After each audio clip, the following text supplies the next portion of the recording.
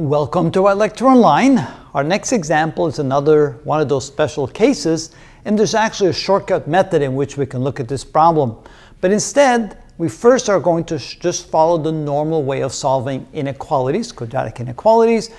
And notice the first thing we want to do is put it into standard form. Standard form means putting the expression on the left side, zero on the right side. It's already in standard form, so we can go on to the next step. So the next step is to change the inequality symbol to a equal sign to find the critical points. So we're going to uh, take x plus 5 squared and set it equal to 0 to find the critical points. And I like to write that in because that way it says that is not actually the case. It simply is done to find the critical points because that is not part of the solution in this case.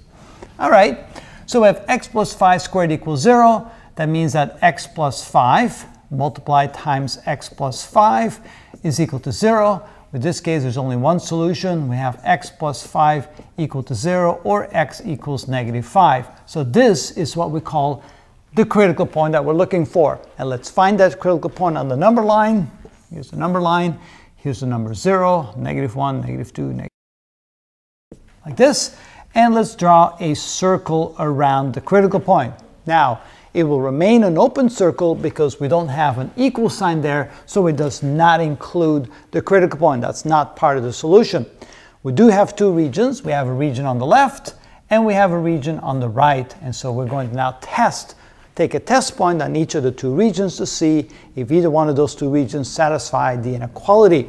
So the first thing we're going to do is pick a point on the left. So we're going to let x equal negative 6, and we plug that into our original inequality. So negative 6 plus 5 quantity squared is that less than 0 question mark. So negative 6 plus 5, that's negative 1. Negative 1 squared is positive 1. So it's 1 less than 0, question mark, and the answer is no.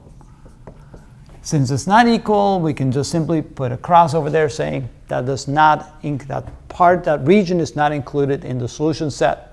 So let's try a point on the right, and of course the easy point always to let x equal 0, if that's one of the points in the region. Let x equal 0, and so we have uh, 0 plus 5 quantity squared. Is that less than 0 question mark? And of course we have 25 less than 0 question mark. The answer is no, which means that the region to the right, region number 2, is also not included in the solution.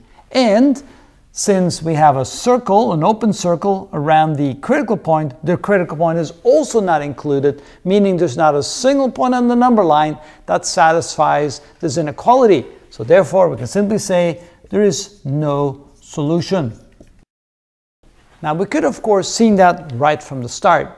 Notice we have an expression squared and they're asking us if that is equal to less if that's less than zero. Notice that whenever we square a number, even if it's a negative number, whatever the number for x is, if this expression x plus 5 is negative, since we squared, it will become positive, and a positive number is always bigger than 0. And if we let this be a positive number again, a positive number squared is also bigger than 0, so there's no possible value for x that can make the left side less than 0, meaning a negative number, since it's squared, and therefore we could have known right from the start that there's no such thing as a solution to this particular inequality. But you can see that if you didn't realize that from the start and you just go through the process, you would have come to the same conclusion. And that is how it's done.